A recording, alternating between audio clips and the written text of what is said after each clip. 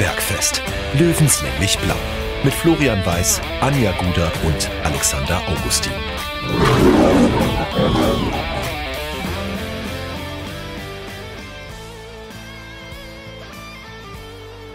Servus zum äh, Giesinger Bergfest und heute gibt es die Folge 6 in einer anderen Zusammensetzung, weil unser Flo weiß, äh, Faktenflo, liegt krank daheim. Ist nicht in der Arbeit gewesen, kann also nicht beim Giesinger Bergfest sein. Das finden wir sehr schade. Aber wir haben uns natürlich Verstärkung gesucht und deswegen sind wir bei Folge 6, die das glorreiche Triple A Trio, würde ich jetzt mal sagen. Also Alex Augustin kennt man und heute in unserer Mitte könnte man sagen Alex Schmidt und es passt niemand besser in diese Folge als du, Alex, weil wir sind vorm Stadtduell und du kennst beide Vereine, Türkgücü München und 60 wie kein anderer. Ja, da hast du recht, wobei ich sagen muss, 60 kenne ich natürlich noch ein bisschen besser, ja, nach äh, über zehn Jahren bei 1860 auf die ich schon sehr stolz bin. Ja, und äh, ja, eine nicht ganz zu Ende geführte Saison bei Türkgücü München.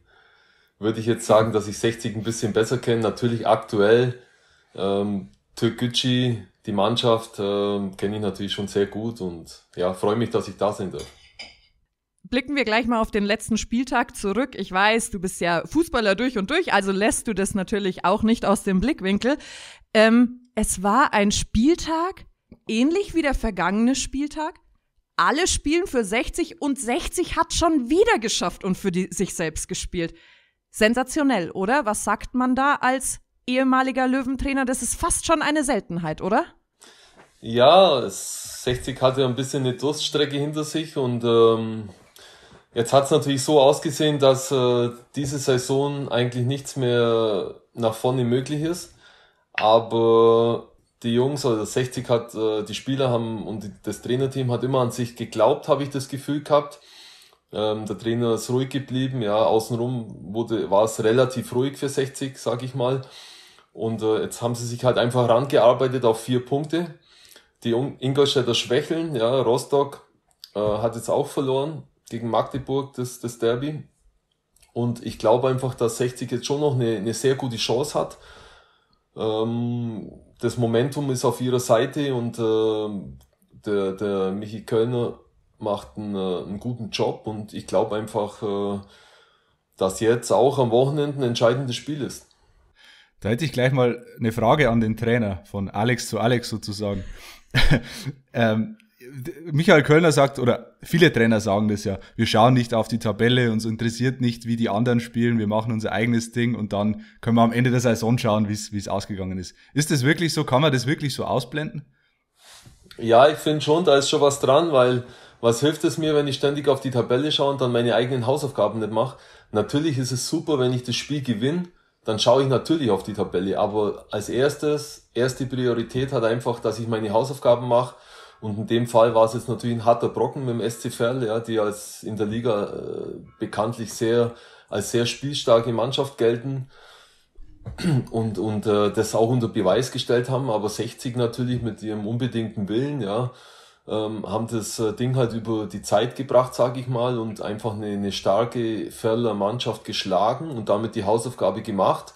Und dann kann ich natürlich als Trainer hinterher, und das macht der Michi todsicher, sage ich jetzt mal, ganz genüsslich auf die Tabelle schauen, auf die anderen Ergebnisse schauen. Und da würde sie natürlich super gefreut haben, dass einfach äh, die Konkurrenz schwächelt und äh, alles im Moment für 60 gespielt hat. Wie ist es für so einen Trainer, so einen Typen wie Sascha Mölders im Kader zu haben? Also es geht ja fast nicht besser als so eine Naturgewalt als verlängerten Arm am Feld zu haben, oder? Ja, also als gegnerischer Trainer ist es brutal, weil Sascha natürlich äh, mit seiner ganzen körperlichen Präsenz, mit seiner Wucht und einfach seinem Willen und seiner Mentalität einfach extrem schwer ähm, zu verteidigen ist. Das hat er halt jetzt auch gegen uns, ich sage im Hinspiel äh, oder gegen Türkgücü im Hinspiel unter Beweis gestellt und ähm, kenne ihn ja schon länger. Ja, früher, als er noch bei 60 war, waren die Duelle gegen FSV Frankfurt, wo er einfach auch uns schon ein paar eingeschenkt hat und so. Und ähm, als ich vor der Saison gehört habe, dass 60 ihn vielleicht äh, nicht oder dass sie ein bisschen zweifelt haben, ob sie ihn verlängert, habe ich nach angerufen und habe mich bemüht um ihn, weil, weil mir klar war, dass äh, einfach ein Sascha Mölders in der Mannschaft den Unterschied ausmacht. Ja. Er ist einfach ein Unterschiedsspieler und das stellt er jede Woche unter Beweis. Und, und was mir halt äh, super gefällt, dass er einfach ein Typ ist und nicht irgendwie so ein Floskelmeier, der einfach, äh, wie es halt heutzutage so üblich ist, ähm, einfach so ja nichtssagende Interviews gibt oder halt einfach äh, auf dem Platz dann nicht so ein Typ ist. Er ist halt genau das Gegenteil. Er ist ein Typ, er ist ein Kapitän, er ist ein Vorbild, er ist ein Torjäger. Wenn es mal nicht läuft, dann haut er auch mal rein, ja, wenn es vielleicht für andere dann auch mal unbequem ist. Einfach ein geiler Typ und äh, ja, ich hätte ihn gern in der Mannschaft gehabt, aber ich glaube, zu 60 passt er wie die Faust aufs Auge. Ja. Wie muss man sich denn Vertragsverhandlungen mit Sascha Mölders vorstellen? Wird da in, in, Wurstsemmeln, in Wurstsemmeln verhandelt oder in, wie, wie, oder äh, anders gefragt, wieso ist er nicht zur Türkütschu gegangen am Ende? Ja, man hat gewusst, äh, er ist ein tausendprozentiger 60er und äh, er würde jetzt nur wechseln, wenn wirklich ähm, alles, alles gegen ihn wäre oder wenn jetzt wirklich der Verein sagt, wir planen nicht mehr mit dir, wir wollen dich nicht mehr sonst was, aber er ist einfach ein tausendprozentiger tausendprozentiger Löwe und äh, ja, von daher war es schwierig, äh, ihn irgendwie da, er hat auch nie so recht zogen, ja, aber ich wollte einfach, ich wollte einfach äh, diese Minimalchance äh, wahrnehmen, wenn es doch irgendwie ginge, ja, mit dem Aaron Berzel ist es mir ja gelungen, dass ich ihn überzeugen konnte, dass er zu uns kommt, aber mit Sascha ist mir halt nicht gelungen, aber ich, ich wollte mir das nicht vorwerfen, dass ich es nicht probiert habe. Ja, und ich habe alles probiert, aber er hat mir halt abgesagt. Ja. Hätte natürlich Dank. auch funktionieren können, weil Berzel und Mölders, jeder weiß, wie innig die zwei sind. Ja, sie sind Best Friends und ich bin froh, dass ich Naron äh, quasi überzeugen konnte. Ja, für ihn war es jetzt auch nicht äh, einfach, weil er auch ein tausendprozentiger 60er, sagen wir mal, war. Und ähm, Konstellation war halt bei ihm dann ein bisschen anders. Und, und ihn habe ich dann halt dann überzeugen können. Und ähm, ja, ich hoffe mal für 60, dass er am Wochenende wieder nicht im Kader ist. Kann zwar nicht verstehen, aber also wer einen Aaron Berzel nicht im Kader hat oder in der Startformation gegen 1860 München, gut, müssen andere entscheiden, aber naja, ein bisschen unverständlich. Aber zu dem Thema wissen andere vielleicht mehr, ja, weil sportlich, mit Sportlichem kann es nichts zu tun haben. Ja, und, und dass der Aaron ein, ein Top-Sportsmann ist, ja, das weiß jeder, dass er Mentalität hat und, und einfach äh, 1000 Prozent für den Verein gibt. Aber gut, das ist äh, türkische Politik, da will ich mich nicht einmischen. Das heißt, man will Aaron Berzel raushaben aus dem Verein oder wie muss man diese Deutungen jetzt äh, verstehen. Das kann ich jetzt, das weiß ich nicht so genau, aber mich wundert es halt nur, dass so ein Spieler jetzt zweimal nicht im Kader war. Und wie gesagt, also man kann eigentlich 1860 nur einen Gefallen tun, wenn er nicht aufläuft. Ja, von daher kann ich nichts dazu sagen, ja. Auf die Ausgangsfrage, Mölters, Berzel sind natürlich Best Friends und äh, ja, wäre interessant zu sehen im Derby. Ja, wäre ein Highlight. Aber gut, ja. Wie gesagt, das entscheiden andere und äh, sind politische Sachen, ja, weil mit, mit Leistung hat's ja nichts zu tun. Offensichtlich. Weil ich war Trainer bei Türkgücü und kann nur sagen, dass der Aaron einfach ein herausragender Spieler war bei mir. Ja, der, der die Mannschaft geprägt hat. Und wenn es jetzt äh, einfach, äh, was weiß ich, aus welchen Gründen nicht so ist, dann äh, müsst ihr andere Leute fragen, warum und weshalb. Zwei andere Hochkaräter bei Türkgücü, also Serkan Sararea, Peter Sliskovic. Auch immer so ein bisschen äh, Diskussionsbedarf irgendwie in den letzten Tagen. Äh, wenn ich beide spielen habe sehen, ich habe mich immer super gefreut über beide, weil die harmonieren perfekt miteinander, die haben das wirklich super hingekriegt. Wo ich sagen würde, okay, spielen diese drei auch mit Aaron, das ist einfach so eine Erfolgsachse, die Türkgücü für mich hat in dieser Saison. Da wird also da rechne ich dann dem Löwen schon große Chancen aus, wenn diese drei nicht auf dem Feld stehen am Samstag. Ja, Anja, Sehe ich das richtig, Alex? Du, du, bist ja, du bist ja eine absolute Fußballexpertin. Also ich kann dir nur, ich kann, den, ich kann das nur bestätigen, ja, und es ist ja jetzt auch keine subjektive Meinung von mir. Ja, man braucht ja einfach nur die Statistik ansehen und äh, Sarara, Sliskovic, Sliskovic und Berzl sind einfach Bombenspieler und äh, haben das äh, Türkgücü-Spiel geprägt, ja, diese Saison und äh, ich sage jetzt mal, äh, sie haben einen riesengroßen Anteil, dass einfach Türkgücü, äh, ich sage jetzt mal, auf dem einstelligen Tabellenblatt steht. Slisko mit seinen Toren. Sercan ist für mich äh, vielleicht der beste Spieler in der ganzen Liga. Ja, es gibt natürlich auch sehr gute Spieler, aber Sercan gehört auf jeden Fall mit dazu, ja, zu den Besten. Und äh, über Aaron habe ich ja ausführlich gesprochen, ja. Wenn die drei nicht spielen, ja, dann kommt 60 zugute. Und äh, ja, was soll ich dazu noch mehr sagen, ja. Die drei, die drei waren bei mir absolute Leistungsträger und äh, ich weiß jetzt nicht, was da groß im Hintergrund passiert. Satchan will, glaube ich, weggehen. Slisko ist ansche anscheinend angeschlagen. Weiß man auch nicht so genau, was da los ist. Und beim Aaron habe ich es ja eh schon ausführlich gesagt. Also für 60 wäre es gut, wenn alle drei nicht spielen, weil sie sind einfach äh, Top-Spieler und äh, haben es unter Beweis gestellt. Vor allem wissen sie auch, wie man in dieser Saison unterm Zeltdach spielt. Ähm, 60 kehrt nach 16 Jahren zurück ins Olympiastadion.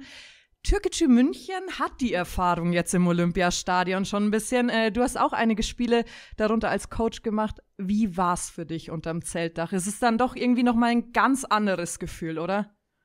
Ja, es ist ein kultiges äh, Stadion, ja.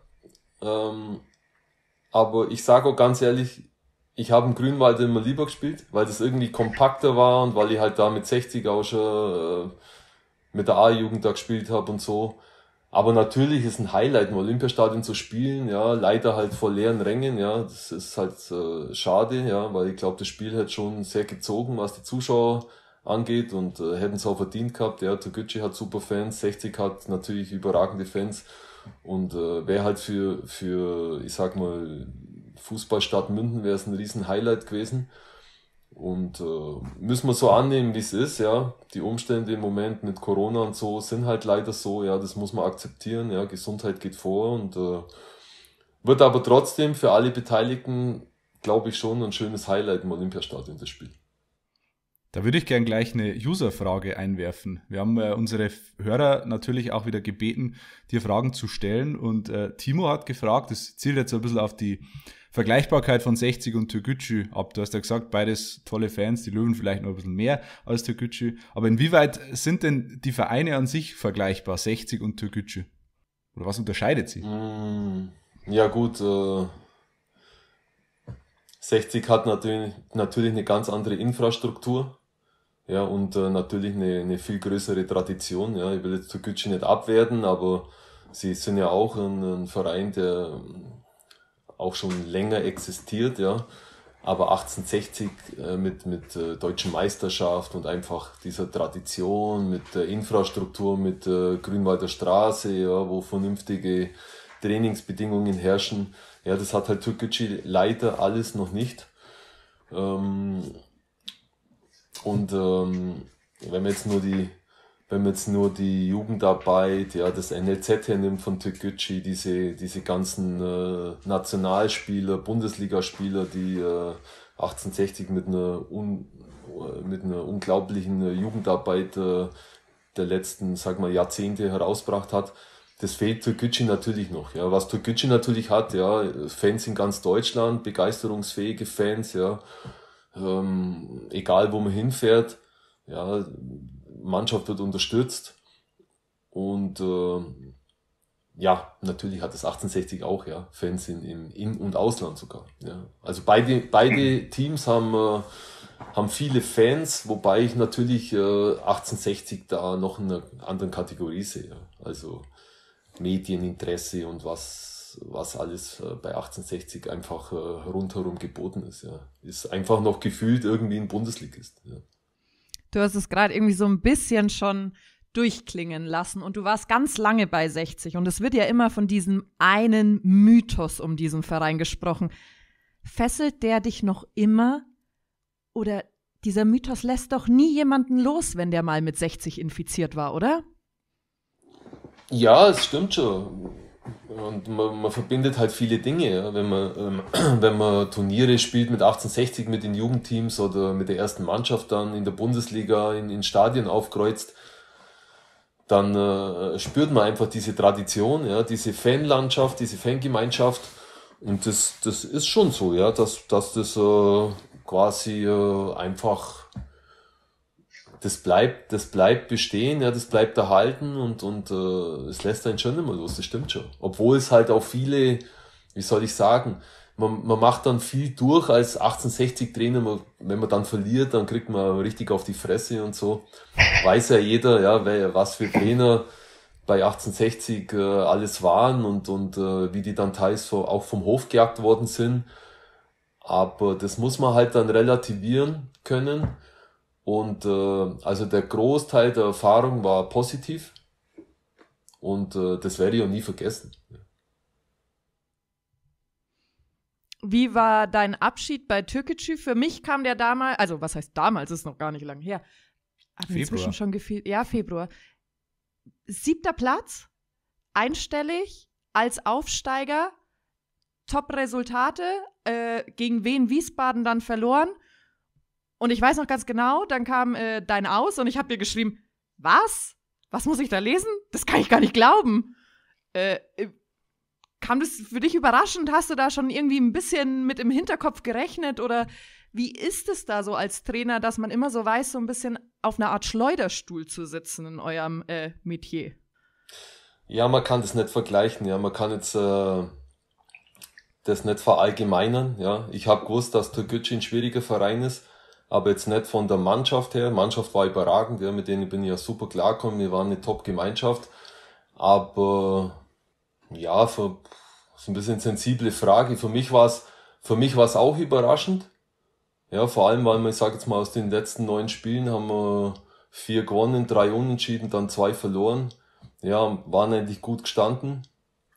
Und äh, es war dann eine Besprechung wie jede Woche und für mich völlig überraschend, ja, hat mir halt dann der Präsident mitgeteilt, ja, dass, dass man sich trennt.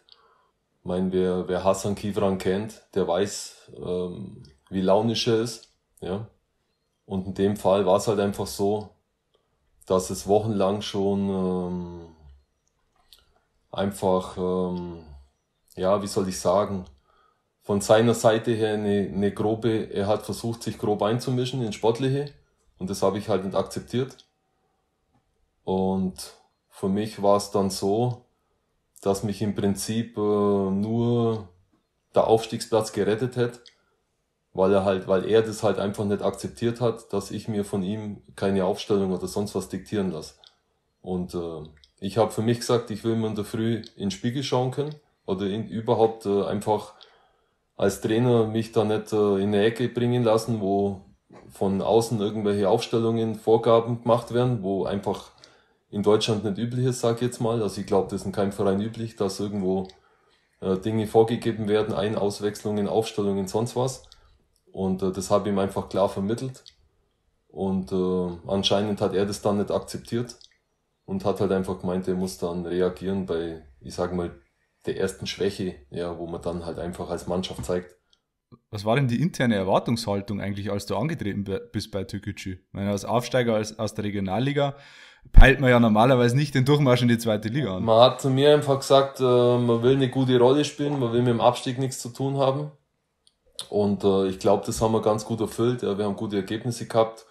Ja, wir haben äh, ordentlichen Fußball gespielt, in meine Augen.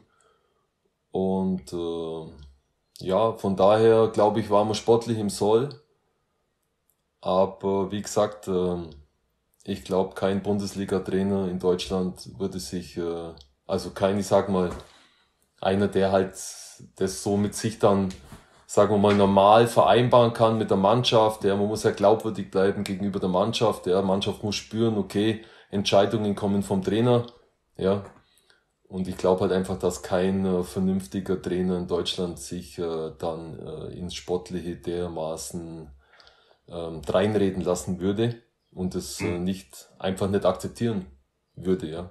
Mein Rainer Maurer hat es ja ähnlich äh, dargestellt und äh, ich muss es leider bestätigen, dass er halt einfach so war und mehr, mehr kann ich dazu halt auch nicht sagen, ja.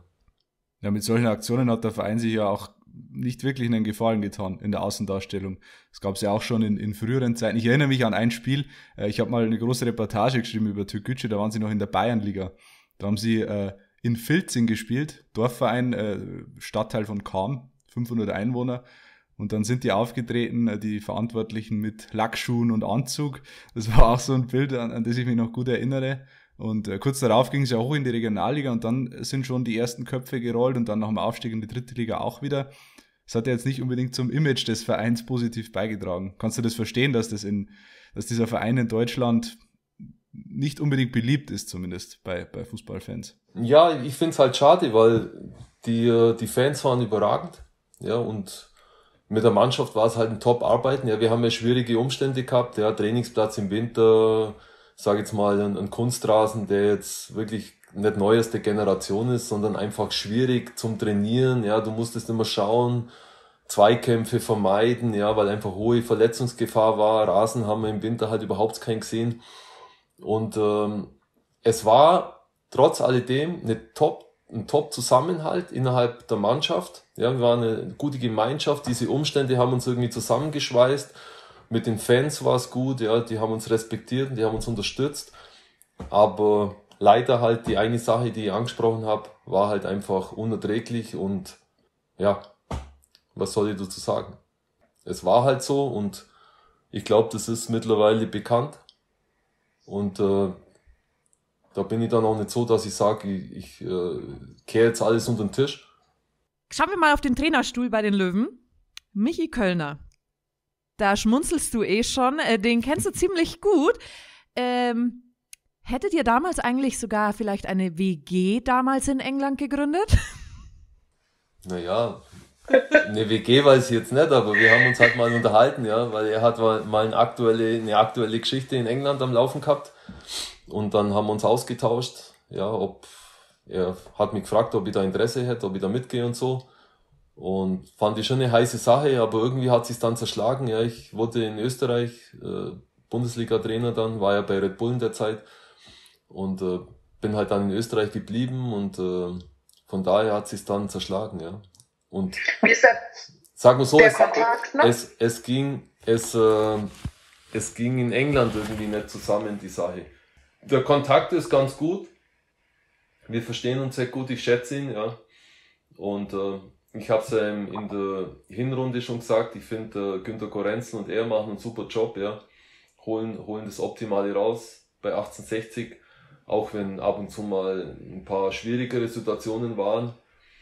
Aber ja, wie gesagt, guter Kontakt und, und äh, der Michi macht es, der Michi ist positiv, ja, ist fachlich gut, ähm, hat einen guten Plan, ja, stellt die Mannschaft gut ein.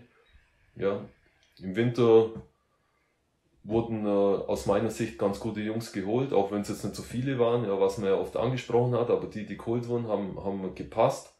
Und von daher glaube ich, äh, haben sie einen guten Job gemacht, ja. Und vor allem auch, sie, sie schaffen es, der Günther und äh, der Michi, sie schaffen es, dass sie das Umfeld zusammenhalten, ja, was bis jetzt ja noch nicht vielen gelungen ist, dass da relativ ruhig ist und, und dass einfach äh, keine großen Unruhen sind und keine großen Störfeuer. Und das muss man ihnen schon hoch anrechnen bei 1860.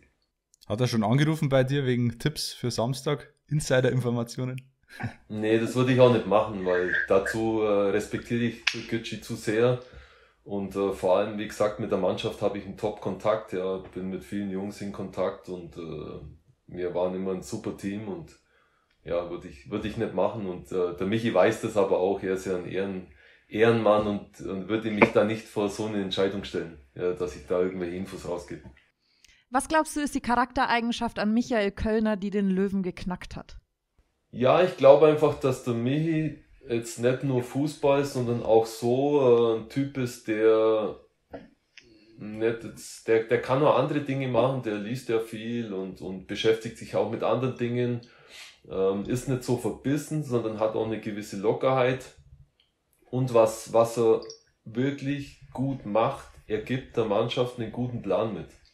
Also wenn ich äh, oft Gegner analysiert habe, habe ich öfters auf 1860 zurückgegriffen und geschaut, wie, wie sie gespielt haben gegen die Mannschaft und ich habe immer einen guten Plan gesehen. Ne?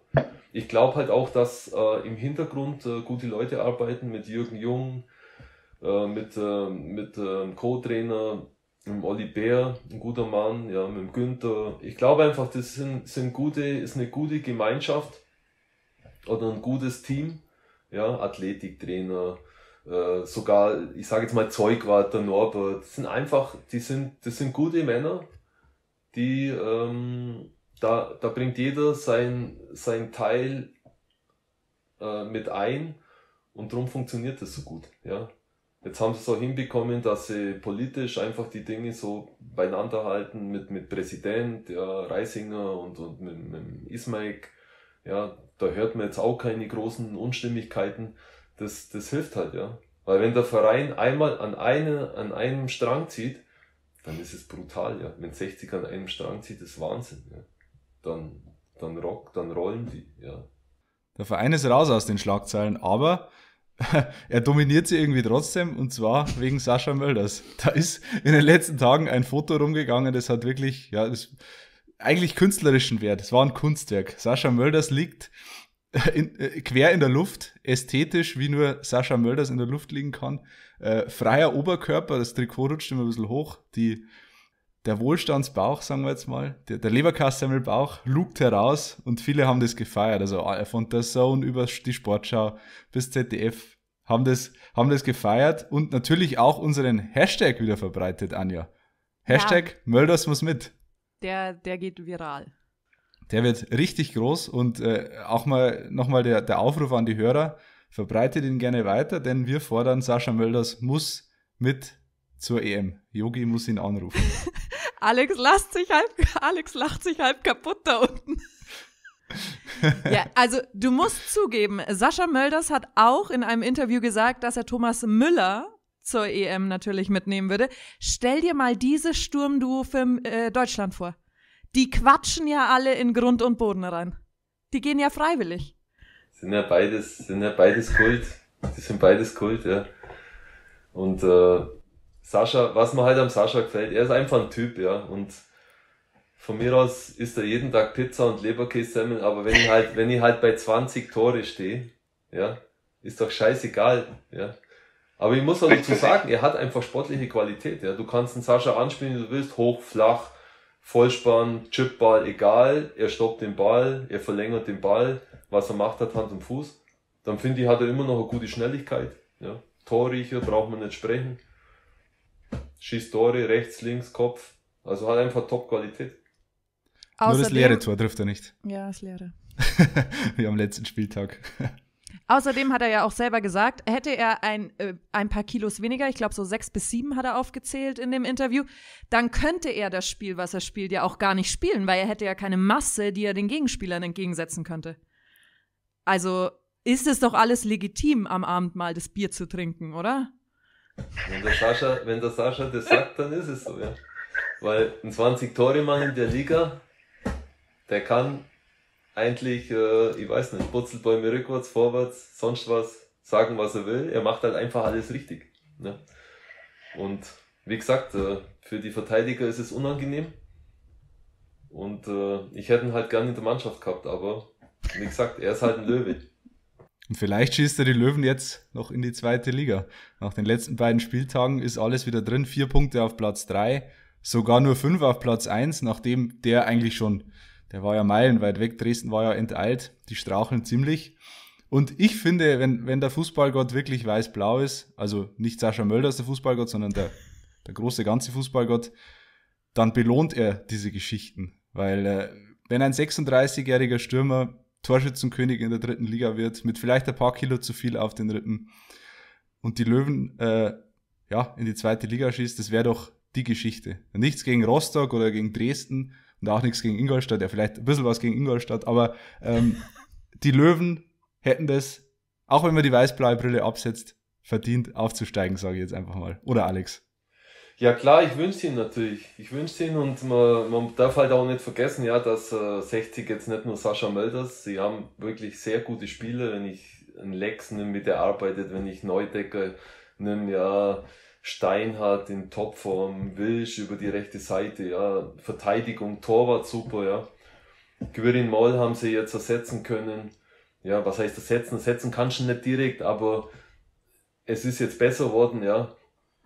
Sie haben einfach eine gute Truppe und äh, es scheint so, als ob der Zusammenhalt auch sehr gut ist, ja. Sie treten extrem als Team auf. Und äh, ja, ich wünsche ihnen einfach, dass sie aufsteigen. Ich wünsche den Fans, dass es klappt und äh, ich glaube, dann könnten es ähm, Michi Kölner irgendwie ein kleines, kleines Denkmal oder so an der Grünwalder Straße bauen. ja. Wir, wir würden mitbauen auf jeden Fall. Jetzt hoffen wir mal auf ein, super Derby am Samstag. Ich glaube, dass es so ein bisschen eine andere Geschichte wird wie im Pokal. Das habe ich so im Gefühl, ja, dass, dass 60 da einfach äh, vielleicht ein paar Prozente von der Konzentration gefehlt haben auch von der Aufstellung, ich glaube, Steinhardt hat da damals nicht gespielt und ich glaube, dass jetzt eine ganz andere Nummer wird, äh, dass 1860 jetzt einfach die Chance wittert, ja, und, und mental stark ist, ja, das verkörpert auch äh, das ganze Team, das ganze Trainerteam und das ganze Umfeld im Moment, dass sie einfach äh, hungrig sind, das ist wichtig, dass sie richtig hungrig sind. Und klar, ähm, Konkurrenz äh, lässt federn, ja, Dresden Ingolstadt jetzt einfach mit, mit einer, mit, ich glaube, die letzten drei mit einem Punkt. Rostock, ähm, wenn ich die Mannschaften so hernehme, Dresden natürlich in der Breite eine Top-Truppe, ja, können einwechseln, ja, drei, vier Mal, die verlieren kaum an Substanz. Ingolstadt auch eine gute Truppe, aber ich glaube Rostock, ich glaube einfach, dass da 60 stärker ist wie Rostock jetzt zum Beispiel, ja. Diese, ich weiß nicht, Rostock, die wurschteln sie in meine Augen irgendwie so durch in letzter Zeit. Ja. Das wird unser letzter Gast Kai Bülow nicht gerne hören. Der war in Folge 4 zu Gast. Ich weiß, aber Mai, ich sag's halt objektiv, wie ich's, wie ich's, Der wollte Ingolstadt ja. runterhauen, zu deiner Info. Ja, Ingolstadt ist schon stark. Ist schon, ist schon eine starke Mannschaft, ja, muss man schon sagen. Ja. Ingolstadt, Dresden sind schon sehr stark. Ja, aber sie lassen halt gerade auch Federn, ja. Ich meine, wenn man sieht jetzt, wie Dresden in Unterhaching aufgetreten ist, haben sie nicht mit Ruhm bekleckert. Ja, obwohl sie einfach eine Bombentruppe haben und, und zuletzt halt so konstant waren. Aber 60 muss dieses Momentum nutzen, nicht verkrampfen, locker bleiben, einfach schauen, einfach von Spiel zu Spiel und alles andere geht dann automatisch. Man muss dazu sagen, ähm, Rostock und Ingolstadt spielen noch gegeneinander im Schlussspurt, nehmen sich Punkte weg und am letzten Spieltag die Löwen in Ingolstadt. Das heißt, wenn es äh, ein bisschen gut läuft für die Löwen, dann haben sie es in, in der eigenen Hand am letzten Spieltag. Wir können ja mal kurz aufs Restprogramm schauen. Es ist noch ein bisschen hin bis zum Saisonende, aber können wir ja kurz mal abreißen. Eben Samstag zur Gütschü im Olympiastadion. Dann äh, englische Woche, Dienstag, 20. April, Viktoria Köln. Äh, Samstag drauf, Waldhof Mannheim. Dann Dienstag drauf, beziehungsweise nee, eine Woche dazwischen ist dann aber dann am Dienstag Kaiserslautern, dann Wiesbaden, am Samstag, Sonntag, 16. Mai, kleines Derby gegen die Bayern und 22. Mai dann möglicherweise der Showdown gegen Ingolstadt. Also das Restprogramm der Löwen liest sich eigentlich auf dem Papier nicht so schwer.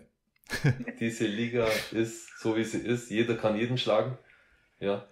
Man hat es gesehen, Haching schlägt Dresden, zum Beispiel? Absolut, ja. Es ist jetzt egal, Viktoria Köln, Wiesbaden, sind alles gute Mannschaften. Waldhof an einem guten Tag. Es ist schwer. Der Schlüssel ist wirklich nur auf sich schauen, ja. Und wenn es ein Negativerlebnis oder Ergebnis gibt, das so schnell wie möglich abhaken, nicht dann groß rum und trauern, was weiß ich, und hätten wir und hätten wir nicht, sondern wenn dann wirklich sowas ist, abhaken und nächstes Spiel, Konzentration 100% ins nächste Spiel rein. Und ich sage jetzt mal, ich glaube jetzt, dass 60 auch mit dem besten Torverhältnis, 60 hat das beste Torverhältnis aller Mannschaften. Das ist wie ein Punkt. Ich glaube, wenn ja. sie nur auf sich schauen und sich fokussieren, immer aufs nächste Spiel und nicht anfangen zum Rechnen, aber das macht der Michi eh, das weiß ich eh, dann, dann könnte das wirklich klappen. Ja.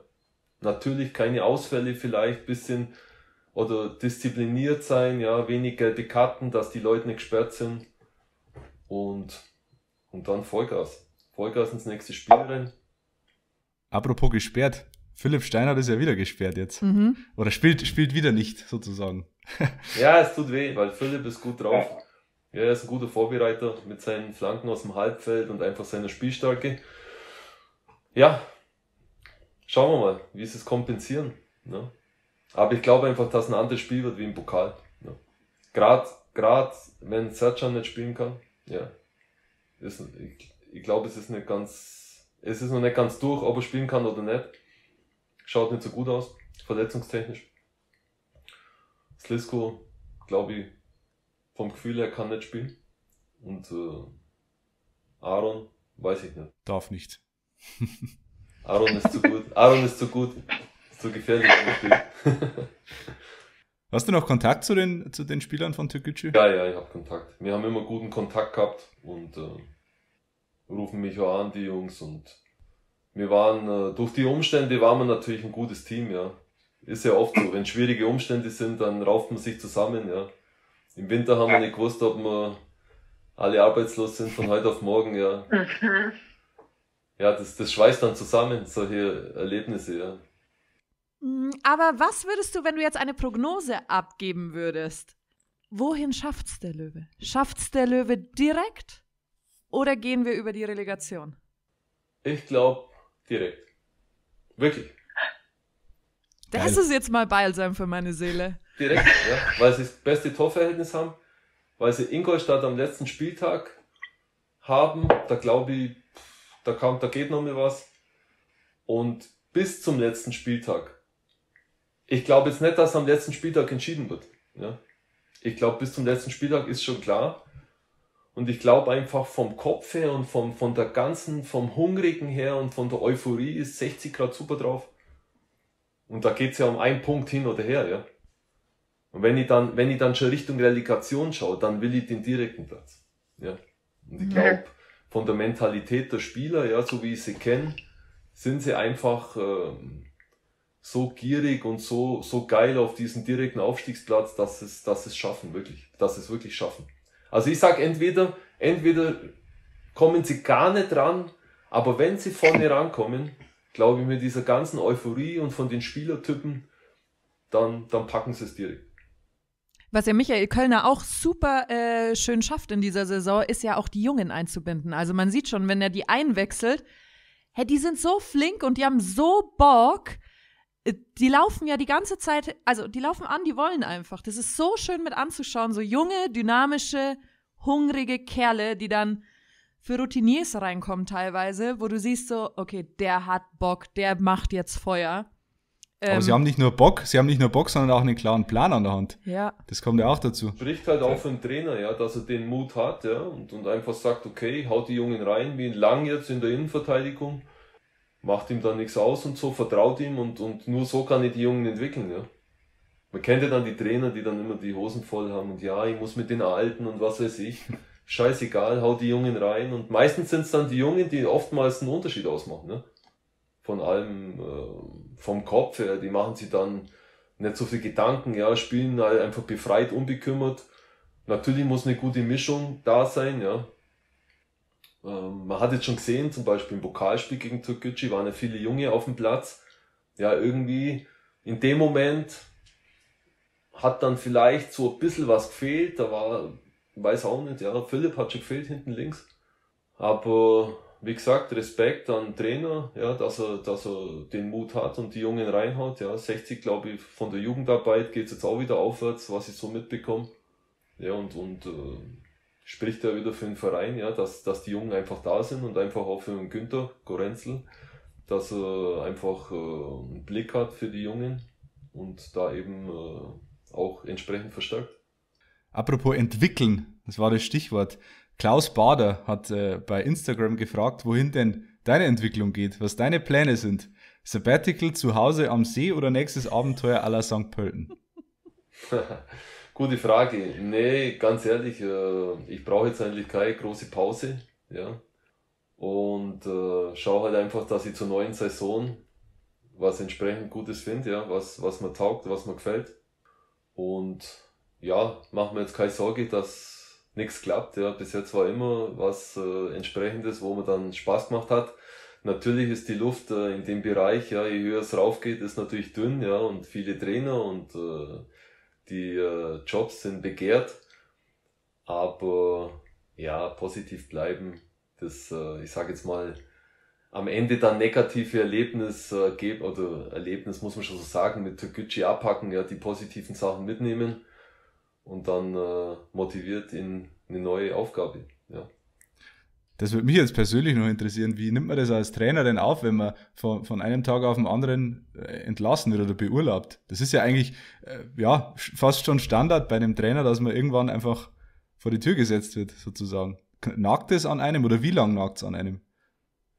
Ja, so Standard, also so richtig gewöhnen, glaube ich, kann sich kein Trainer an sowas, weil es ist halt immer eigentlich schon eine Niederlage. Ähm, in dem Fall war es auch sehr überraschend, ja, weil wir waren ganz gut gestanden, ja, Mannschaft hat gut funktioniert und alles, ähm, war gute Stimmung oder gute Chemie innerhalb der Mannschaft. Ähm, man muss halt, man muss, oder man lernt mit der Zeit, dass man mit sowas umgeht, ja, dass man einfach äh, dann äh, positiv bleibt, auch wenn es einen natürlich schon ärgert und stört und ähm, man sich dann hinterfragt, ja, aber man muss es abhacken, ja, und wenn man das einfach nicht schafft, dann, dann hätte man auch irgendwo einen Beruf verfehlt, ja, weil, wie gesagt, es ist halt schwierig, auf dem, auf der, auf dem Level zu trainieren dann. Ja, es kann immer was passieren und äh, zwischen Erfolg, Erfolg und Misserfolg liegt halt oft bloß ein Blatt Papier, ja. Geht der Ball am Pfosten, geht er knapp vorbei, ja. Wie es jetzt im letzten Spiel bei mir in Wiesbaden war. Ja, da haben wir ja dann äh, drei Minuten vor Schluss haben wir, äh, ich sage mal, das äh, 2-1 Gegentor bekommen obwohl wir dann in der zweiten Halbzeit schon sehr dominant waren und nur sogar nur einen Elfmeter verschossen haben. Ja, man muss damit umgehen, äh, lernen oder können und äh, ich glaube, die meisten Trainer können das mittlerweile. Obwohl es nicht einfach ist. Also es ist jetzt nicht so, dass man sagt, ach super, alles positiv und kein Problem und so. Es ist schon, ähm, ist schon ein schwieriges Geschäft. Aber es macht natürlich Spaß auf dem Platz und so Fußball, ja, ist halt einfach, ist für mich jetzt keine Arbeit, ja, das macht man halt gern und äh, ja, mit der Mannschaft und Training und Spiel und so, schon super. So muss es doch aber in jedem Beruf sein. Dass es einfach Spaß macht und nicht so wie Arbeit rüberkommt. Ich muss jetzt gerade was einwerfen. Jemand, ich, also ich glaube, die Hörer haben das jetzt gehört, dass mein Handy vibriert hat. Das lief jetzt, also das muss jetzt, das muss jetzt Schicksal oder irgendwie haben die zuge. Der Kicker meldet gerade, KFC Üringen trennt sich von Trainer Krämer. Echt? Okay. Das war jetzt wie, wie äh, bestellt, tatsächlich. Just in dieser Sekunde. Ich schüttel den Kopf. Ja. Ich brauche keine Kibrans oder Russen mehr. Will Spaß am, Spaß am Fußball haben. Ja? Ja. Na, Spaß am Fußball. Da schauen wir zu den Löwen mit äh, Sascha Mölders. Aber den gibt es heute nicht zu erraten bei den Alex Allstars. Ähm, Alex, du darfst gerne bei unserem niederbayerischen Alex eine Runde mitraten. Ne? Wir haben es ja schon erklärt, äh, wie es so ein bisschen läuft. Und ich glaube, unsere User und Hörer kennen es auch schon. Drei Tipps, ein ehemaliger Löwenspieler. Und ihr habt gebettelt, dass es härter wird. Alex, it's your turn. Wir müssen erstmal den letzten Alex Allstar ah, ja, auflösen. Stimmt. Der war ähm, offenbar wieder viel zu einfach. Das Ach so, lassen wir doch Alex erstmal den noch raten. Ja, genau, stimmt. äh, die drei Hinweise vielleicht nochmal. Ja. Unser Alex Allstar trägt einen Zweitnamen, der gleichzeitig auch der Name eines Vereins ist, gegen den die Löwen einst im UI Cup gespielt haben. Zweiter Hinweis, äh, mein Alex Allstar hat nur bei drei Vereinen in seiner Karriere gespielt oder gearbeitet. Und er ist WM-Torschütze. Na, was sagst du, Alex? Wer ist es? Ich jetzt oder Ja? Keine Ahnung. Also es hieß bei unseren Hörern, es ist wieder viel zu einfach. Also die Auflösung, der Name ist natürlich allen Löwen geläufig. Daniel Borimirov. Und Daniel Borimirov trägt eben einen Zweitnamen, nämlich Borisov. Bate Borisov, die Älteren erinnern sich, Gegner der Löwen im UI Cup, damals im Grünwalder Stadion gegeneinander gespielt. Ähm, ich weiß ehrlich gesagt jetzt nicht, ist Borisov der zweite Vorname oder der erste Nachname? Äh, das habe ich leider nicht herausgefunden. Und äh, WM-Torschütze war 1994 mit Bulgarien beim 4 zu 0 gegen Griechenland in der Vorrunde. Ist er eingewechselt worden und hat, glaube ich, entweder das 3 oder das 4-0 geschossen. Drei Vereine, bei denen er gespielt und gearbeitet hat. Ein Verein, den ich nur schwer aussprechen kann. Bedin Vidin, sein Jugendverein. Levski Sofia und 60. Und bei Levski Sofia ist er mittlerweile Sportdirektor. Wärst du draufgekommen mit den drei Tipps? Ja, werde ich schon, wenn ich nur ein bisschen überlegt hätte. Ich meine, ich war sogar im Stadion gegen Bate Borisov. War das 2002 oder 2003 irgendwie so? Geht hin, ja. Ja, ich glaube 2-2, ja. Ja, war ein gutes Genau. Mhm. Vom einen Ex-Löwen zum nächsten. Der nächste Alex Allstar. Und äh, ich hoffe, er ist ein bisschen schwerer, keine Ahnung. Die ersten werden es wahrscheinlich äh, mit Aussprechen der Hinweise schon gelöst haben. Beim ersten Hinweis, Hinweis ist es wieder schon gelöst, Alex, sage ich dir. Wahrscheinlich, ja. Und viel zu einfach und wir sollen uns doch mal was Schweres einfallen lassen. Immer das Gleiche. mein Alex Allstar ist Onkel von gleich zwei aktuellen Bundesligaspielern. Zweiter Hinweis. Er spielte auch bei drei heutigen Drittliga-Konkurrenten der Löwen, also bei drei Vereinen, die auch in der dritten Liga spielen. Und mein Alex Allstar war bis 2020, also bis letztes Jahr, der einzige Spieler, der in einem DFB-Pokalfinale ein Eigentor geschossen hat. Stille? Sollen wir schon nach einem Tipp fragen? Ihr fragt mich oder ob ich. Naja, ja. wir fragen alle, aber vielleicht willst du ja schon einen Tipp abgeben. Fragt mal eure, eure Hörer. Besser.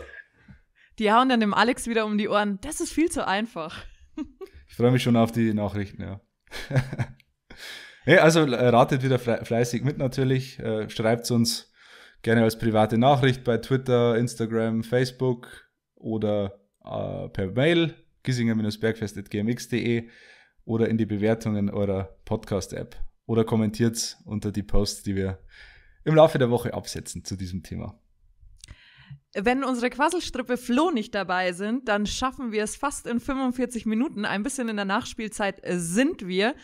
Ähm, deswegen sagen wir danke, Alex, dass du heute mit uns über das anstehende Stadtduell gegen Türkgücü schon mal geplaudert hast und unsere, unser Duo A zu Triple A gemacht hast. bitte, bitte, bitte, bitte. Und äh, dann gehen unsere Worte an unsere Follower. Wir wünschen euch einen wunderschönen Tag und wir schauen jetzt schon mal vor aufs Spiel und wir wissen es ja, wir bleiben alle löwenslänglich blau. Und gute Besserung an Flo.